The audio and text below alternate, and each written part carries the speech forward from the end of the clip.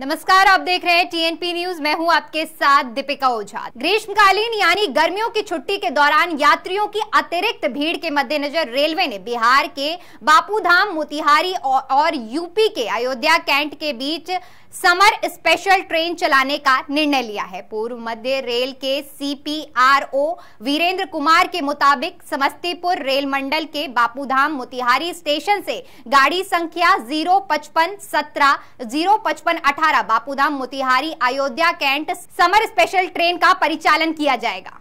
चलिए, फ़िलहाल के लिए इतना ही। देश और दुनिया की तमाम बड़ी खबरों के लिए हमारे यूट्यूब चैनल को सब्सक्राइब करें। खबरों को विस्तार से जानने के लिए हमारी वेबसाइट डब्ल्यू पर विज़िट करें। धन्यवाद।